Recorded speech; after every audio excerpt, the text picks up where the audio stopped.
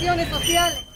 Según la presidenta provincial de la Unión Nacional de Educadores, Gloria Toapanta, el gobierno planea recortar más de 300 millones al sector educativo. Las organizaciones del Frente Popular rechazamos la inminente reducción del presupuesto en educación con esta reducción del presupuesto se pone en riesgo gravemente la educación superior, ya que las universidades en estos momentos de la emergencia sanitaria demandan de más recursos para poder implementar la educación virtual en el país. Ante esta situación llegaron varios dirigentes sociales hasta los exteriores de la gobernación para protestar con carteles en mano por este anuncio que hizo el Ministerio de Educación mediante un comunicado que dejan sin el derecho a la educación a más de 30 mil niños, niñas, adolescentes, adultos mayores.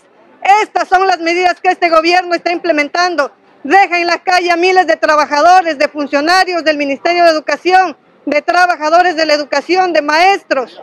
Cientos y miles de jóvenes no podrán acceder a la educación superior con esta medida de reducción del presupuesto universitario. Rechazamos la actitud del gobierno nacional de Lenin Moreno y de su ministro Richard Martínez en atentar contra la educación superior. Prioriza y priorizar el pago de la deuda externa antes de invertir en educación y salud.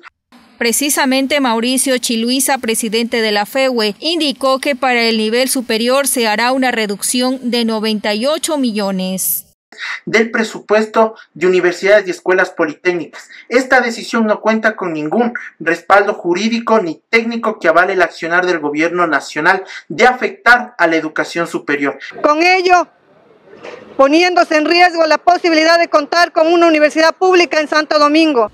Además, según Toapanta, la educación media tendrá un desajuste en su presupuesto por más de 200 millones. Es así que entregó una carta en la gobernación para que sea extendida al presidente de la República, Lenín Moreno, con la finalidad de evitar tal problemática.